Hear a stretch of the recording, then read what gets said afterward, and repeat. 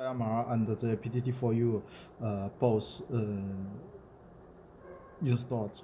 Uh, now let's open the PTT4U and uh, log in with the CCWA uh, test account. Um, and we open the uh, and uh, we have write the uh, frequency and the uh, DCS code uh, a, in a analog channel. Now let's open the gateway mode here. We transmit the voice from the hello, hello, hello, hello, hello, hello, hello.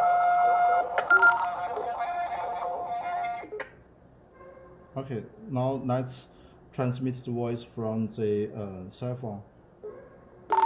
The other is engaged. Hello, hello, hello, hello, hello, hello, hello, hello.